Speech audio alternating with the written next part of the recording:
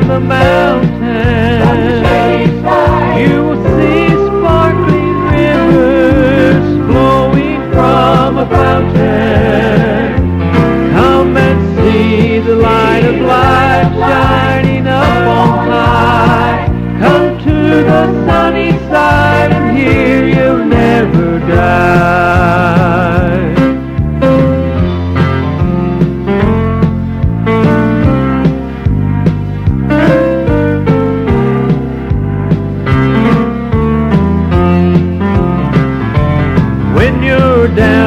out and you just don't know what to do.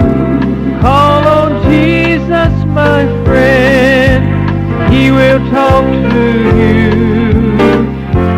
When you talk to him, have faith and you will have no doubt. The Lord will touch your heart and you will sing